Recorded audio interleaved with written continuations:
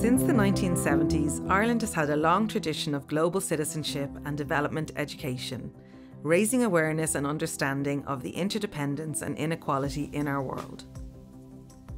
Since 2004, the IDEA Network has been at the heart of our society's educational response to the challenges we face in the world and in Ireland today.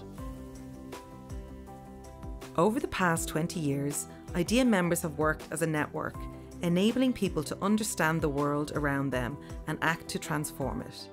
Our members refuse to accept injustice and inequality as an inevitable part of life. Together, we empower people to become more aware, more engaged citizens who act against injustice and inequality here in Ireland and globally. Our 120 members are across schools, universities, adult education programmes, youth work, community groups, and include Ireland's education and training boards and local development companies.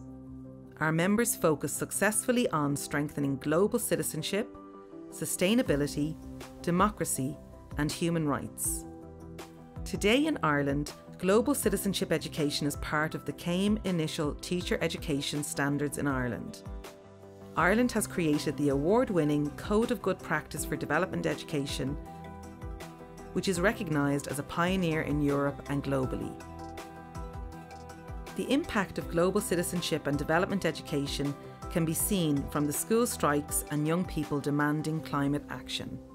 2023 research showed 59% of adults view diversity and multiculturalism in Ireland positively. And in the 2024 local elections, despite far right rhetoric, only a small number of candidates were elected. We are not perfect, but we are not finished.